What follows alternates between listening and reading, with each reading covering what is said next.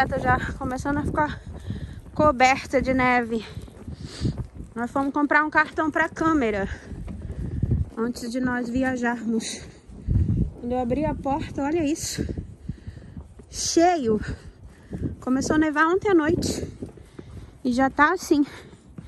Parecendo que são meses de neve, né? Foram só 12 horas de neve, gente. Em 12 horas de neve caiu tudo isso. Vamos terminar de empacotar as coisas para partir. Eita, olha aqui na frente. Olha isso, Egger. É. Foi tempestade mesmo, entrou aqui tudo na varanda. Porta do vizinho. Tudo cheio. Jesus. Quando a gente saiu pra ir pro shopping não tava assim não. Levou tudo isso em uma hora. Olha, parecendo areia da praia. Com açúcar. açúcar. Varrendo açúcar gelado? Meu pai. Nosso plano era pegar táxi aqui de casa para o aeroporto.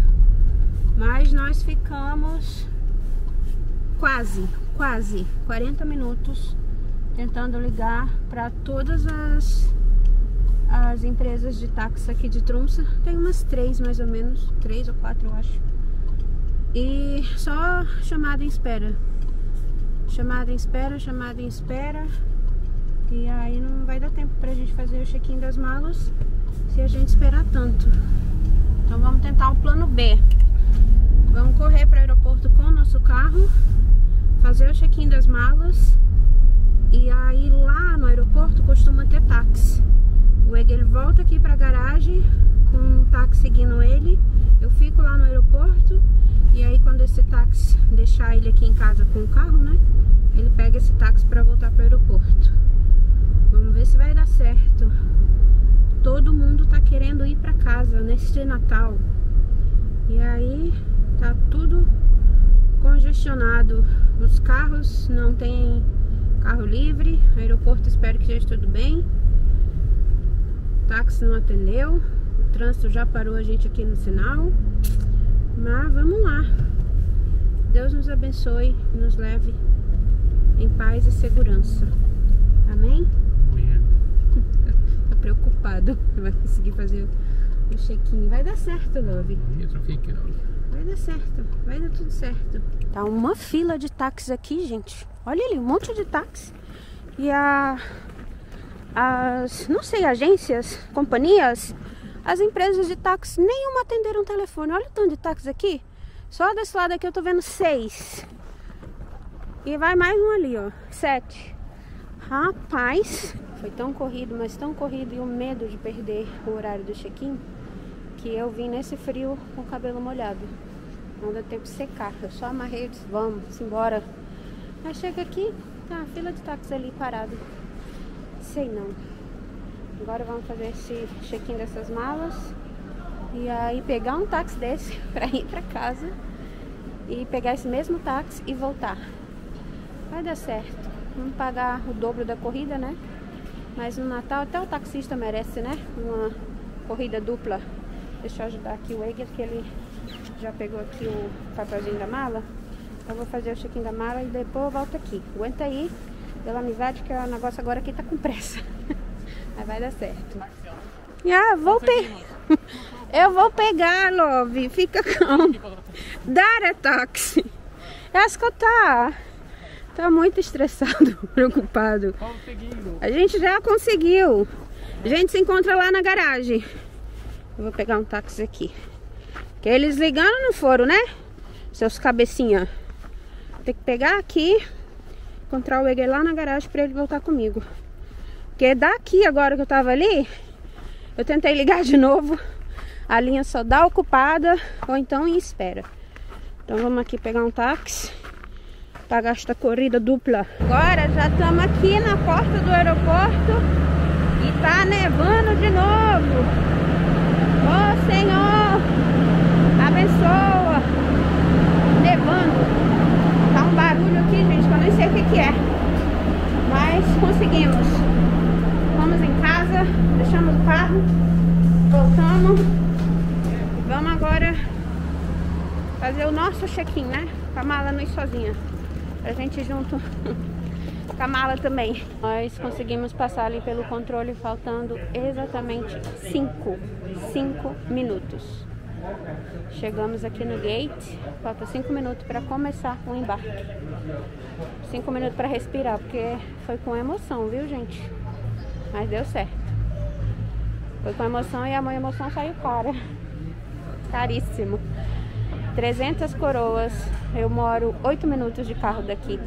Então eu fiquei 16 minutos dentro do carro. Fui e voltei, né? Pagamos 300 coroas. E o taxista disse que ele acha que é lá na central. Porque eles mesmos não estão recebendo chamada. Falei, mas rapaz, talvez a mulherzinha lá do telefone do táxi tirou férias de Natal e não avisou ninguém. Mas tá bom. Simbora, que o Natal só começou.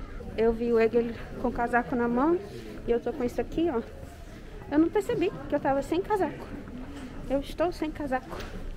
Meu casaco e meu telefone ficaram aqui no controle. Gente, tô dizendo pra vocês, o negócio tá sendo com emoção. Abençoa, Senhor, a família, amém. Abençoa, Senhor, a minha também. É porque eu tô com isso aqui, ó. Então eu me senti quentinha não peguei nada.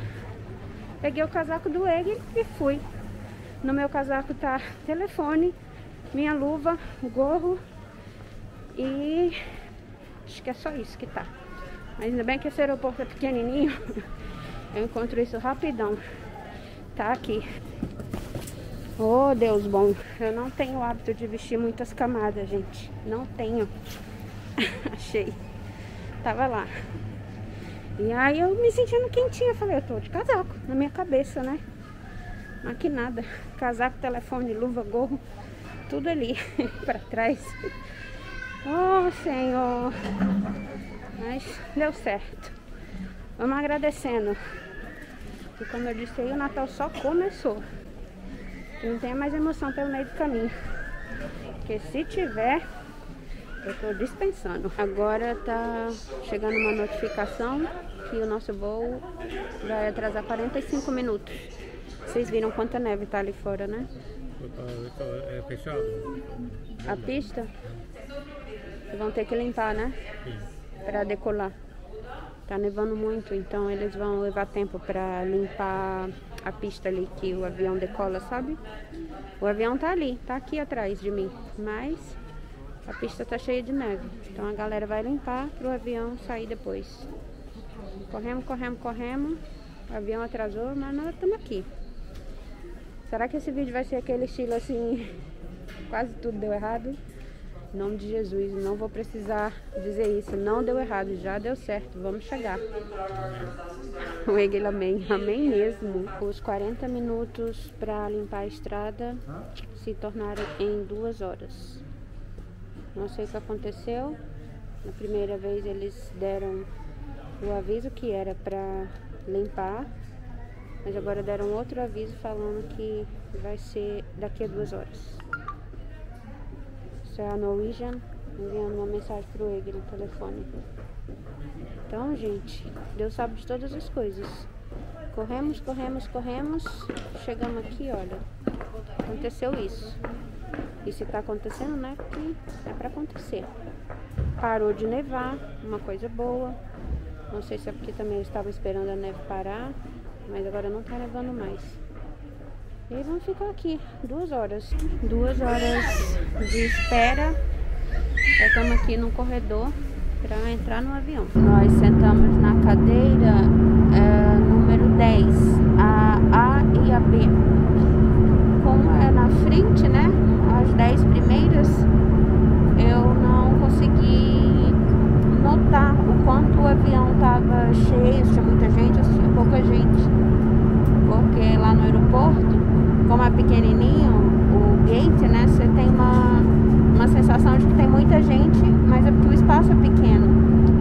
Aí agora eu fui no banheiro, na verdade quando nós sentamos, a aeromoça falou assim, olha, quem quiser sentar mais para trás, a gente tem lugar vazio. E eu vi as pessoas indo, sabe? Eu pensava que era pouco lugar. Mas agora eu fui no banheiro. Eu vou deixar um clipe aí que eu fiz para vocês verem. Tá tipo distanciamento dentro do avião, porque tem pouca gente dentro do avião, sabe? Tá bem, bem vazio assim com o que costuma ser. Eu achei que ia estar tá super lotado, porque no jornal tava passando no aeroporto de Oslo que ele tava super lotado, assim, tinha muita gente voltando para casa. Mas eu acho que é o sentido contrário, tipo, quem vem de Oslo para cá tá cheio, mas daqui para Oslo, por exemplo, tá agora como esse que eu mostrei tá mais vazio. Vocês estão super acostumados a me ver saindo de casa. Só que dessa vez eu estou saindo de uma casa, mas não necessariamente a minha casa e não necessariamente. Peraí, que eu não necessariamente quase não sabia abrir a porta. não necessariamente. Porta fecha sozinha. Intrunça. Nós estamos na região de Oslo, capital da Noruega, que é onde minha cunhada mora. Nossa, gente, que frio! Ó!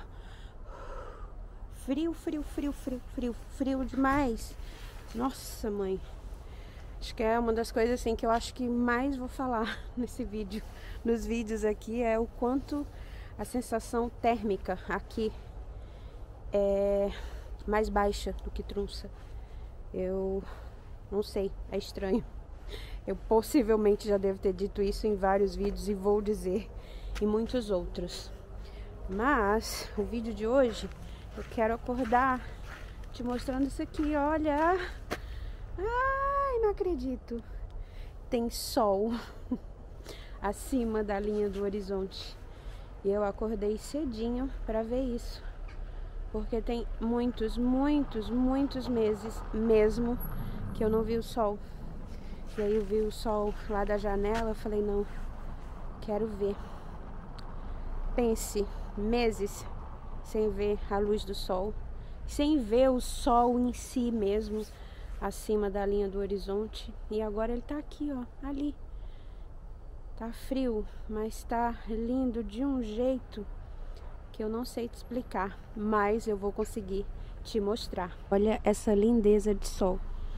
Coisa mais linda do mundo, gente. Eu não sei nem te explicar o quanto eu amo ver isso.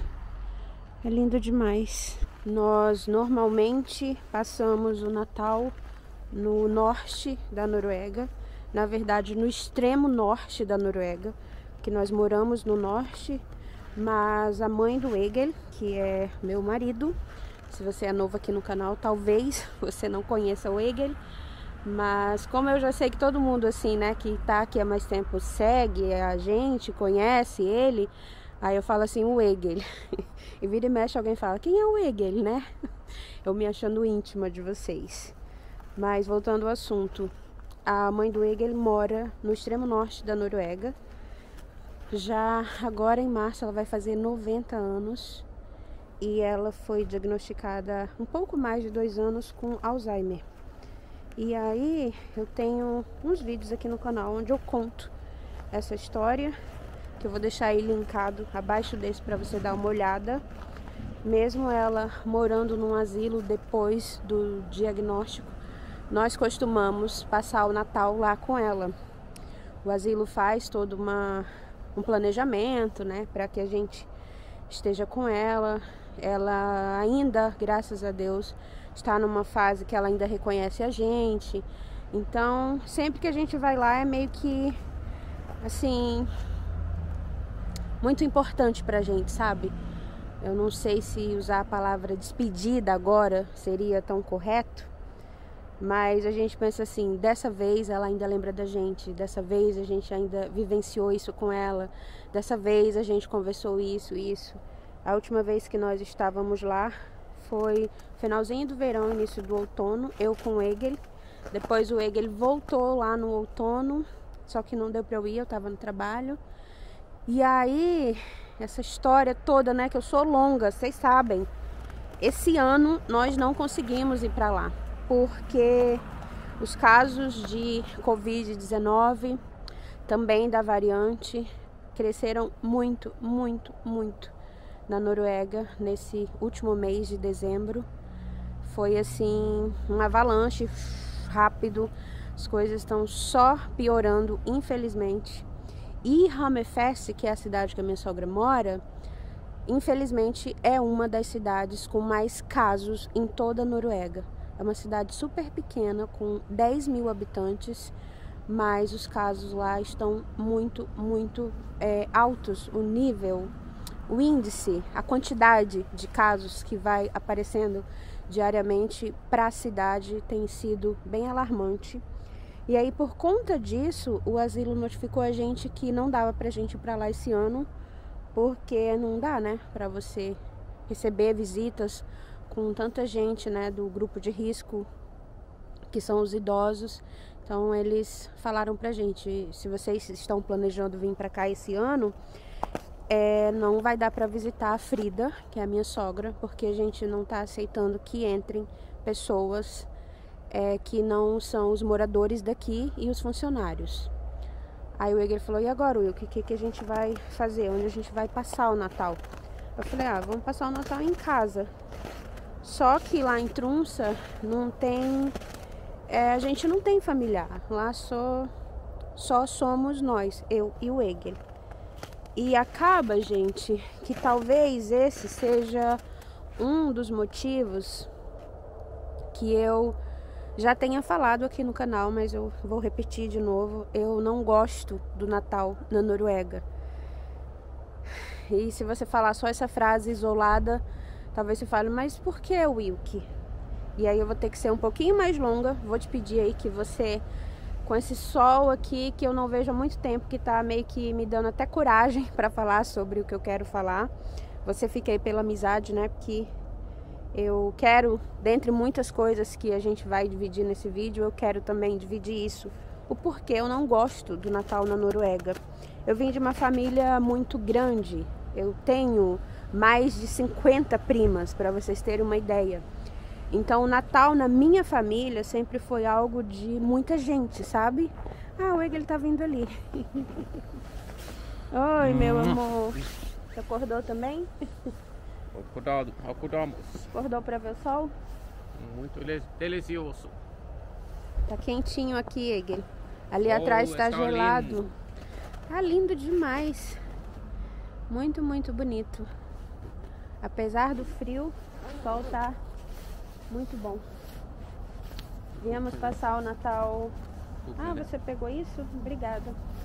Eu estou explicando aqui para as pessoas por que eu não gosto do Natal na Noruega. Eu não gosto muito do Natal aqui. Eu acho que nem não. você, nem o Eger. Ele não gosta muito. Mas já que ele chegou aqui, vai dar para eu concluir. Nós havíamos combinado de caminhar para ver o sol. Então eu vou caminhando com ele, já que ele já chegou e vou falando para vocês o porquê. Eu tenho mais de 50 primas e na minha família o Natal sempre foi uma época que tinha muita gente. Então, para mim, Natal, dentre muitos dos significados, é também mesa cheia, é, rodeada de muita gente, muita gente, sabe? E aqui na Noruega, eu sei que essa regra de. Vamos para qual lado, Igor? Para cima ou para baixo? Vamos por aqui, a gente vai vendo o sol para baixo.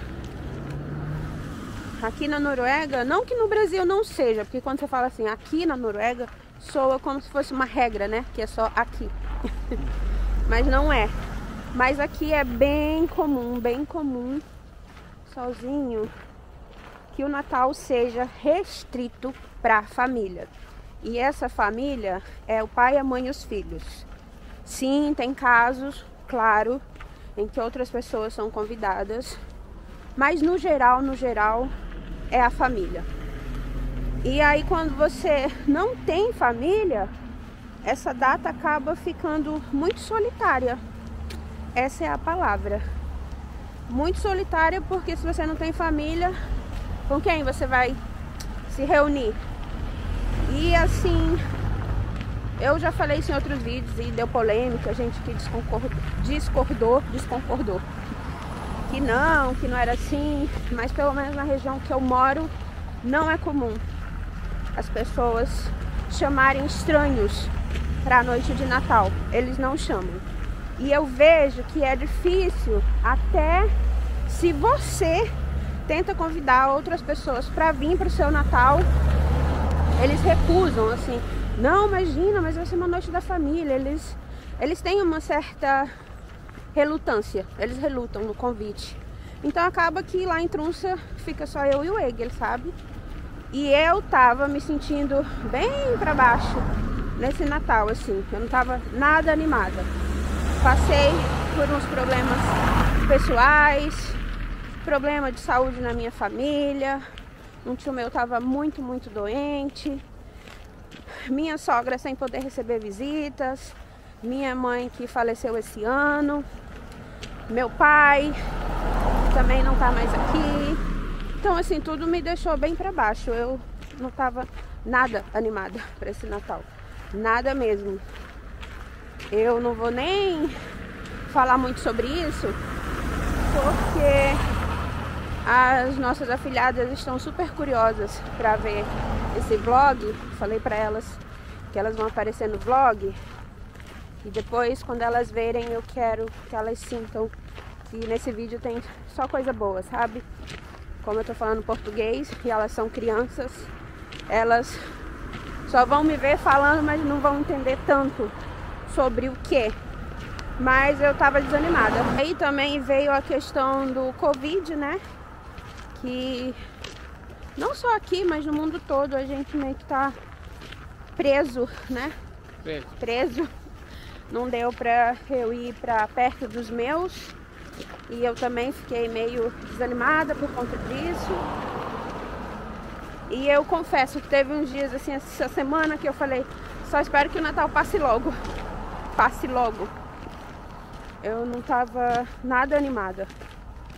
Mas o Egel, como sempre, sendo o Egel, deu uma animada, montou árvore, comprou calendário de advento, então eu meio que me senti assim, eu não posso deixar ele sozinho se animando, eu preciso me animar também. E aí a gente recebeu o convite da minha cunhada para nós. Cuidado, ele aí que tá.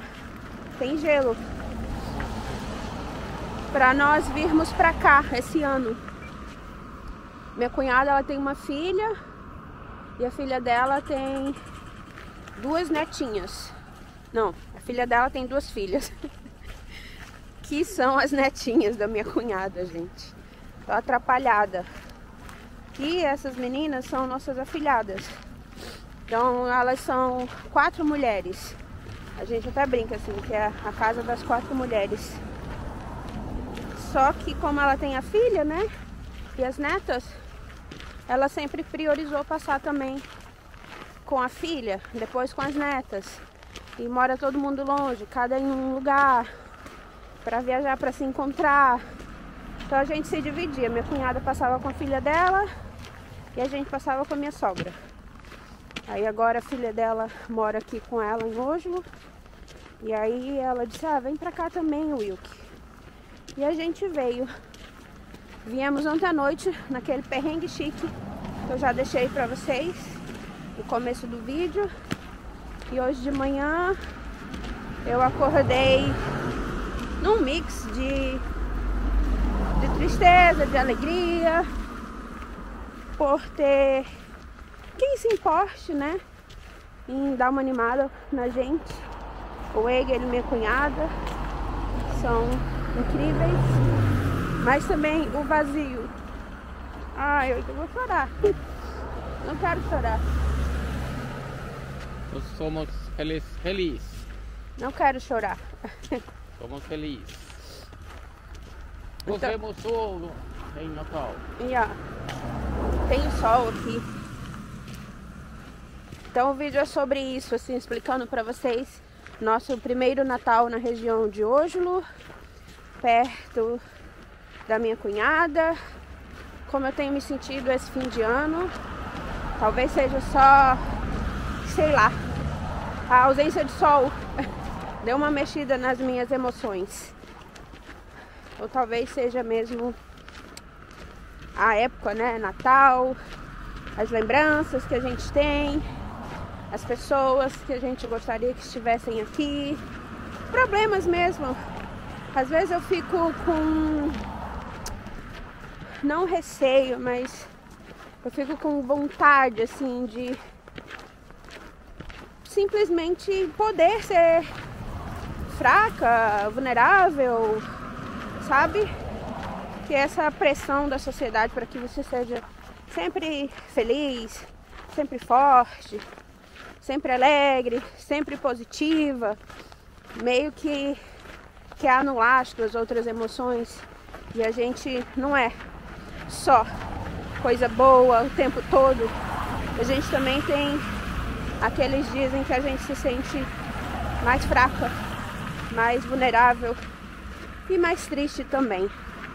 Eu acho que se essa palavra existe no dicionário, é porque ela existe na vida.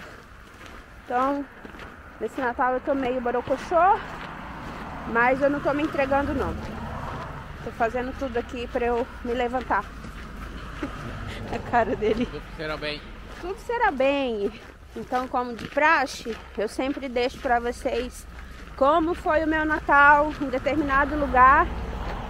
Né? Já teve no extremo norte, já teve lá em Trunça, já teve no Brasil. Mas é a primeira vez que nós estamos na região de hoje, na casa da minha cunhada. E apesar de não gostar do Natal na Noruega, por conta aí do que eu já te falei, talvez esse ano seja um ano em que eu vá mudar de ideia, né? Estamos em outro lugar, com outras pessoas, mais pessoas, né? Minha cunhada, as netas e a filha.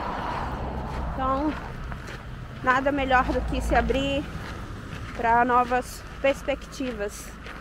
Mas, não vou mentir não, eu sinto muita falta do Natal em família lá em Marabá, Pará. Eu Hoje... também. Você também?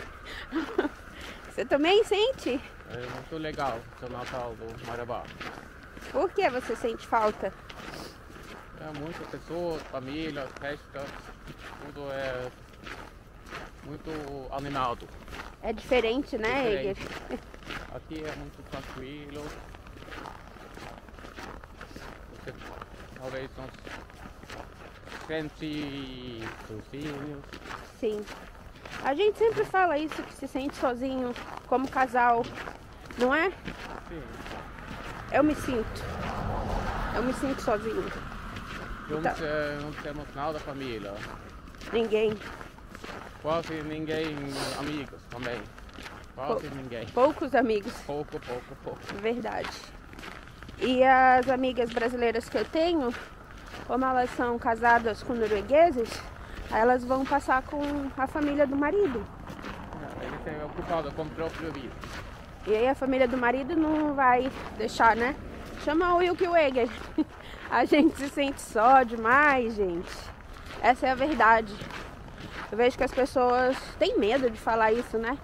Ah, me sinto só. É normal se sentir sozinho.